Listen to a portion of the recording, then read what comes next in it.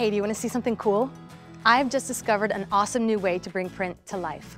I use this to snap or tap cards or catalogs I get in the mail, a poster I pass on my way to work, even the coaster I use at my favorite bar or restaurant.